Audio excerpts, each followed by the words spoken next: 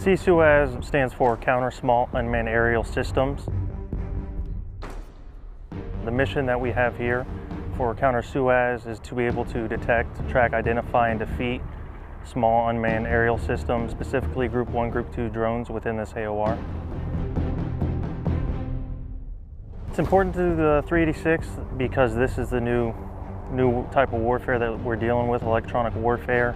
Um, very hard to detect and defeat. We have new systems, new software, everything daily.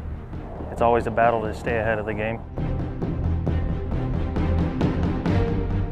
Favorite thing about my job is learning the technology aspect, becoming more aware today of what's going on. Uh, most individuals would probably think of, you know, Group 1, Group 2 drones as toys, um, used for land survey. They can be used for various, various aspects. But the capabilities that, if in the wrong hands and seeing what can happen overall, um, that could hurt our mission and or our personnel, it's, it's learning, you know, the good and evil.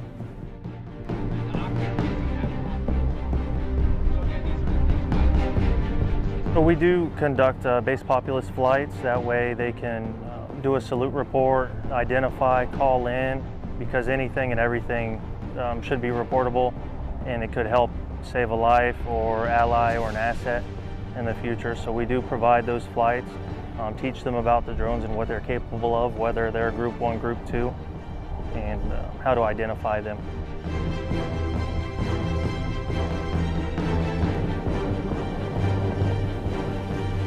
It is, um, to me, it's a, it's a very big deal. Knowing what folks are capable of is definitely real, and I think uh, shaping the Air Force, implementing new counter-SUAS systems definitely helps us in the future.